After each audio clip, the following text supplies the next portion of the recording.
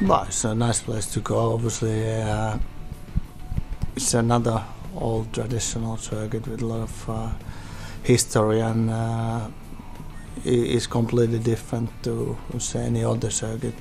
There's some other fast circuits, but it's nothing like like Monza. The atmosphere is great. Obviously, it's a home Grand Prix for us, and uh, makes it uh, makes it a bit more busy for us, but also a lot of fans. So obviously, we always want to do well did well in qualifying, but not so good in the start of the race. So uh, I think the end result was okay after what happened, but uh, you know, um, love to be in a, in a winner there. But uh, let's let's see. Hopefully this year we can do better, and uh, it's uh, it will be great for, for us as a team, and also for all the, our Italian fans and uh, fans from other countries.